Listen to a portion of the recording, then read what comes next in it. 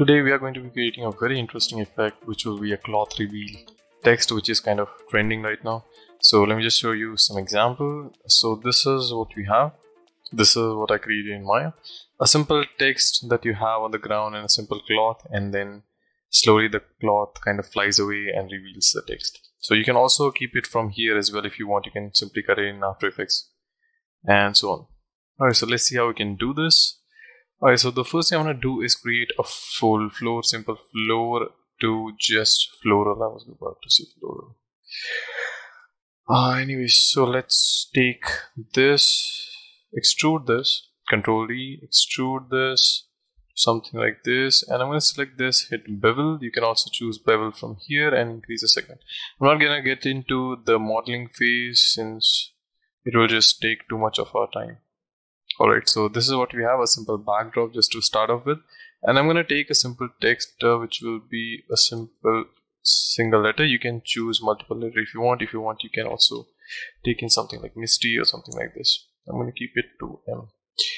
And the font size will be somewhere about 5 maybe. And uh, that should do it. And in the geometry, I'm going to extrusion distance will be somewhere about maybe like 1 or maybe like 0.5 extrusion division to 1 bevel will be a bit more. Let me just increase some extrusion and enable bevel. So I think I'm gonna go for a simpler bevel. No division at all. And yeah so I think this looks pretty good. And let's change the font to something a bit more Alright, so this looks good, I guess. Yeah, let's go with this. So I think uh, we have some issues with the overall bevel and everything. We have some collisions going on. So I'm going to keep it to somewhere a bit more low, something like this. And uh, let's keep it somewhere. Alright, so I'm going to reduce the amount of extrusion depth because I think it has too much extrusion, the text apart from that the rest looks pretty good. But so one thing i want to do is make sure that the object is perfectly aligned. So i'm going to hit d and v on my keyboard to align my uh, pivot point with the vertex. And from here i'm going to hit x and simply snap it to the grid. So now it has perfectly aligned with the floor. All right so there we go. So i've already created a camera here just so it's a bit more easier and faster for us to process so you don't have to watch me create all those cameras in HDR. So I have one basic HDR as well for the lighting purpose and that's it. Alright, so if I show you my scene now, let's turn on our IPR. Alright, so this is what we have right now. I'm gonna close this, looks pretty good. And from here I'm gonna create my cloth. Let's take a simple plane, let's drag it up. I think I've already covered a lot of uh, tutorial on cloths, so creating a cloth should be a bit more easier for you. Uh, but apart from that, I'm going to keep the division pretty low for this effect. But for the fine rendering, I highly suggest you turn up. I think I made somewhere about 100 and 100, basically 200 subdivisions. But for this effect, I'm going to keep this for the tutorial purpose. I'm going to keep it pretty low to about 30, just so it's a bit more easier for us to visualize. All right. So once uh, the whole modeling part and everything is done, we start creating our FX. So let's go to our FX menu and from here, we have our backdrop, which is going to be our collider, which is not going to be moving. So I'm going to go to my nCloth and create a passive collider. Now, if I hit play, nothing will happen because it's a passive collider. And if I select my cloth here and hit create nCloth, it will start to fall because it's nCloth. And in nCloth, by default, you get a nucleus, which basically means having his own brain in a particle system. That means it has its own nucleus and its own gravity and fields and so on. Anyways, so the next thing is creating a passive rigid body, not passive collider for our text as well. So I'm going to hit passive collider and there we go. So if I hit play, we have nice little collision going on with our text and our cloth. Alright, so as you can see, we have a bit more low subdivision going on, but uh, if you take a large amount of subdivision, it looks pretty good. So I'm going to keep it low for the tutorial purpose. Alright, so the next thing is if you want to change the cloth type, what you can do is you can simply go to the preset and you can choose heavy denim or maybe a silk or maybe a t-shirt, whatever, it totally depends on you. I'm going to keep it to default for now. Alright, so how do we create that uh, flying out effect? or it's really simple. I'm gonna select my plane here. I'm gonna go to fields and solver and select air. All right, let's move it out here. So this is our air, which is going to, if you don't know what air does, I've already covered a full video on all the fields and what they do. So make sure you watch that if you don't know about fields. All right, so I'm going to increase the magnitude just to showcase how this field work. And it's a simple air. As you can see, it's creating a very nice little air for our cloth. Right, but uh, what we want is slowly the cloth should reveal the text. So for that, what we are going to do is kind of uh, see where the cloth is actually resting and then we are going to take that resting point and create our revelation or reveal or whatever it is. So i'm going to keep it about 100 revelation wow. let's hit set key. I'm gonna set key for the zero magnitude. That means uh, there won't be any magnitude. That that means there won't be any speed at all. And then about 150 the magnitude will go up to like maybe 30 and right click set key. All right so let's see. So the cloth falls. And now you get something like this. Not exactly what we were expecting but okay.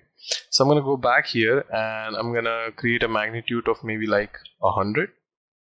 And right click and set key Alright, so the next thing I'm going to do is change the direction. As you can see, we have three direction, X, Y, and Z. Right now what we have is only for the Y. So I'm going to put in a value for the X as well, which is going to be 1. And let's go back and let's see how this is reacting. Right, so our cloth falls and then after 100, it gets revealed. So this looks pretty good. If you want, you can do some variation with, I'm going to tilt the whole cloth to a bit more something like this maybe. Let's see so the cloth is a bit more flying out because of the gravity. So I'm gonna keep it to something like this. And there you go. So obviously we have a bit more low subdivision going on. You can also choose I guess um, t-shirt. And in the dynamic properties I'm gonna make the whole stretch resistance to 10 and compression resistance to maybe like 2 and let's make it a bit more heavier. So I'm going to put a mass value of 2 here. All right. And there you go. So if you want more higher value on where the direction of the cloth should be, you can increase the same direction level on your air. You also get some uh, nice little preset for the wind, wake and fan as well if you want to try out that kind of stuff as well. So there's no like perfect thing going on with this there's always going to be multiple types of variations how this will react. So you just have to play around with this. You can increase some more of magnitude if you want.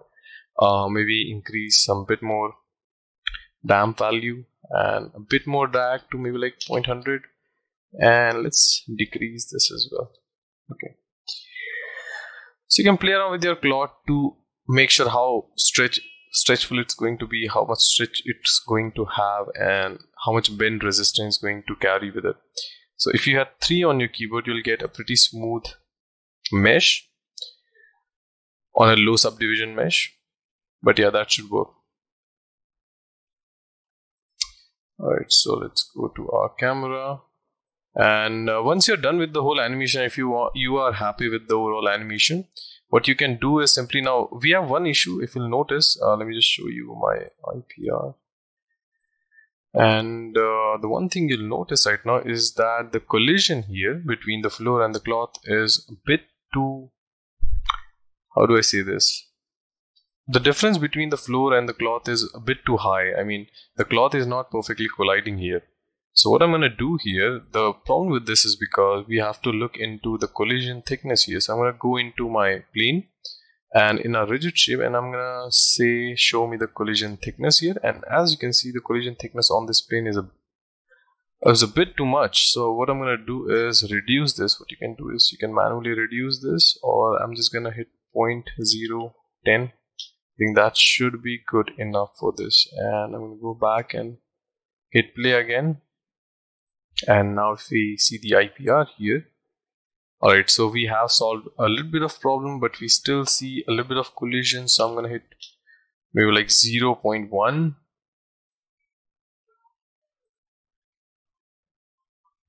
All right, so I'm gonna pause this. Let's see. All right, so we have some little bit of collision issue going on. And I think for the plain purpose, it is solved. I'm gonna go into my cloth here. And in the collision, I'm gonna see collision thickness. And here we have another problem. That means the overall thickness on the plane is a bit too much as well. So let's reduce this to maybe something like 0.010 uh, so we can see the mesh is kind of in intersecting with the collision thickness. So we have to be careful with that as well. All right. So there you go. All right. So now as you can see we have so almost like the 90% of the problem, I'm going to reduce the collision thickness to even more.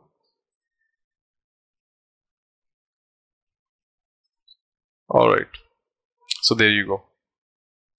So this is how you solve it. So this looks pretty good to me and once you're happy with the overall result, I'm going to turn this off now.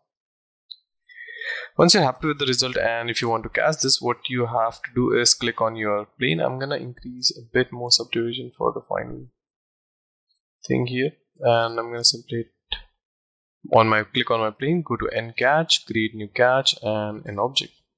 And I'm gonna say replace existing since I already have a simulation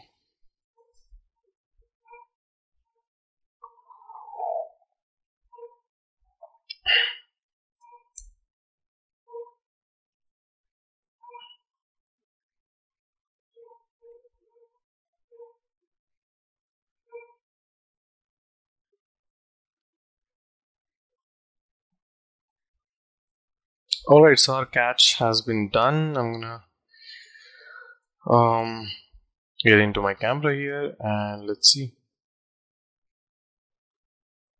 All right so we have one small issue and i'm not gonna recast this but i will tell you the solution for this it's not that noticeable but yeah it's still there. So if you hit one on your keyboard it will be solved. Apart from that you can also use uh, Arnold Catclark which will simply smooth out the whole mesh and if it still doesn't solve the problem, what you can do is go to nucleus, increase the substep amount. This is basically sample of your FX in a way. So increasing the amount of substep will uh, kind of make your overall cloth simulation perfect, but it will take a bit more time. All right.